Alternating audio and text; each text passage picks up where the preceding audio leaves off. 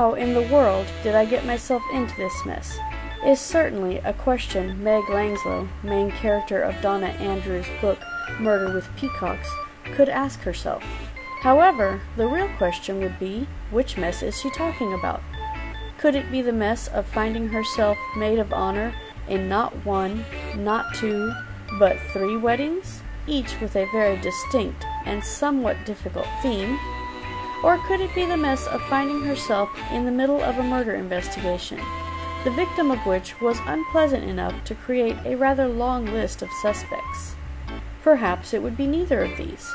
Perhaps the mess she would be referring to would be the mess of finding herself attracted to what could possibly turn out to be a most ineligible, if incredibly handsome, man. Whichever the case may be, this humorous murder mystery, with its impressive list of quirky characters and hilarious circumstances, certainly keeps the reader guessing. Readers have to chuckle sympathetically as Meg finds herself confronted with, and having to cope with, an ever changing list of demands by three exacting brides, along with a father who is a serious murder mystery buff and can think of nothing more fun than bonding with Meg over a murder investigation.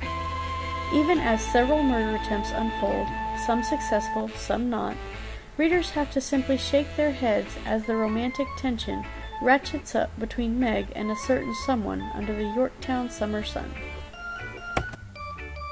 Never fear, though. Armed with her trusty notebook, Meg is sure to come out on top in this fun, light-hearted murder mystery.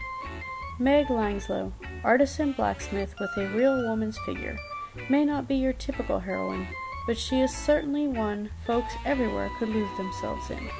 It's a good thing this book is the first in a series, because readers are left craving another serving of everything this book has to offer.